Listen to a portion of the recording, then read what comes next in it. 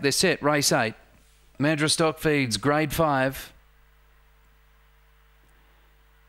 Racing now, flying out Yankee Parker, mustering quickly Fernando Manelli, Lady Serze, Jerry Gundy and Daffy tucks the rail, but Fernando Manelli gets across. Leads Yankee Parker, Lady Serze, a gap Daffy tucks, and then Rapid Recall, Enemus, Jerry Gundy, Cyclone Boy, Fernando Manelli clear of Lady Serze, Yankee Parker, Fernando Manelli very wide but wins two lengths. Lady Serze, Yankee Parker, Daffy tucks, and then Rapid Recall, Enemus, Jerry Gundy, Cyclone Boy.